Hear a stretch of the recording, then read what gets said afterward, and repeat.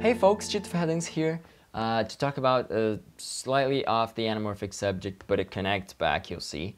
Uh, not so recently, I picked up an iPhone 8 Plus, didn't keep it, because of its dual camera. The dual camera is the secret to portrait mode, where the phone creates depth of field, uh, simulates depth of field and subject separation through the use of math and software. Portrait mode by itself is not that impressive. It just, you don't have so much control over the final result. Just kidding, it's pretty impressive. But more importantly, it sets precedent for other interesting apps. The way portrait mode works is the phone uses information from both cameras which have different placement and different focal lengths, which means they see different images that have parallax in between them, which is how you perceive distance between objects.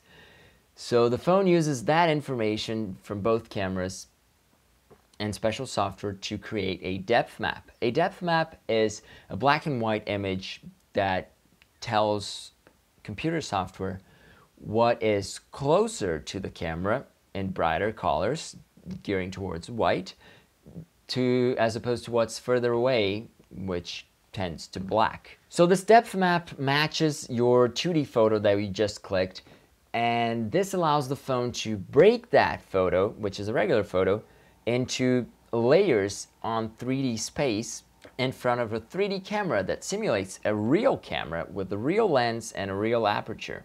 So the original image has extreme depth of field, everything is sharp and in focus because it's a tiny lens, uh, it's a wide angle lens on a tiny sensor. But once you break it into these layers, you can make it easily look as if it was shot on a bigger sensor. This also allows you to choose where you want focus to be and how much depth of field do you want from that point.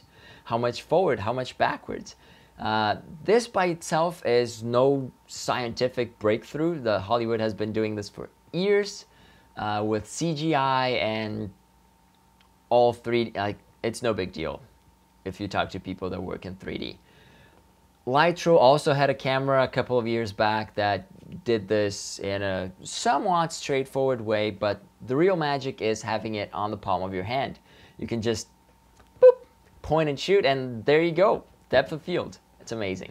So now you don't need dozens of specialists and expensive 3D software and technicians and whatnot and supercomputers in order to simulate depth of field and post, at least for stills. It didn't take much for app developers to jump on this dual camera train and beat the original Apple's portrait mode app.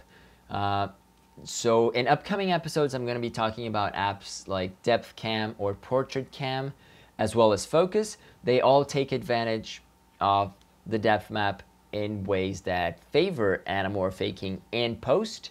And I'm not going to go much further into the subject in this episode since it's already dense.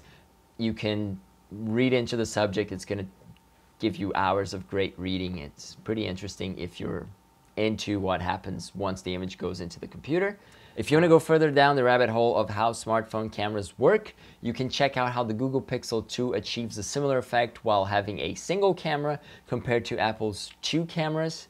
Uh, but for now, just let me know what you think of this break in the all the anamorphic talk in the comments below. Like this video if it made sense and subscribe to the channel to be notified when the app reviews come online as well as their, their sort of tutorials of how to use and how to fake this stuff. It's, they're pretty interesting apps. I'm Tito Ferradans and I'll see you next week.